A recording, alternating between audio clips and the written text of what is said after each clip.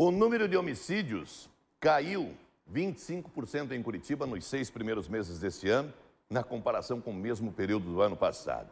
Está tudo escrito ali, eu não acredito. Os dados são da Secretaria de Segurança Pública.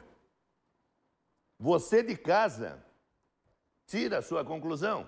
Você acha que, dois pontos, a violência diminuiu do ano passado se comparado a esse ano de 2017? Coloca no ar. É uma cena que assusta.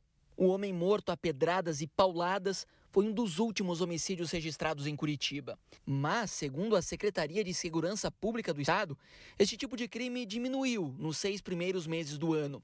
Foram 176 assassinatos no primeiro semestre contra 234 no mesmo período do ano passado. A redução é de 25%. Para as autoridades de segurança pública, essa redução no índice de homicídios é o reflexo de uma união de fatores. Entre eles, o aumento das denúncias, por exemplo, através do Disque Denúncias, e também a atuação das forças policiais, com destaque para a Delegacia de Homicídios, que só neste ano já realizou a prisão de 60 autores de assassinatos. Homicidas, eles atuam pontualmente em regiões e na maioria das vezes praticam mais de um crime de assassinato. Então, você tirando essas pessoas de circulação, obviamente, além da diminuição do índice, se diminui também a sensação de impunidade e aumenta a credibilidade da população na polícia. Com a redução de 25%, Curitiba está entre as capitais com a maior redução nos homicídios na primeira metade do ano.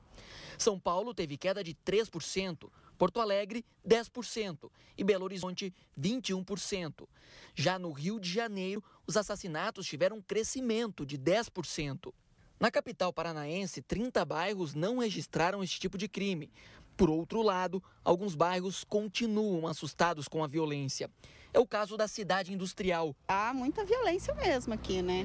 Uhum. A gente tem uma lanchonete aqui na frente aqui, mas é falta muita segurança mesmo. É carteira dentro do sapato, ou você puder evitar levar até a carteira, celular. Um problema maior meu que eu vejo é os, os usuários e o tráfico. Foram 36 crimes no bairro este ano, apenas um a menos que no ano passado. No Tatuquara foram 20 homicídios, um a mais que na comparação com 2016.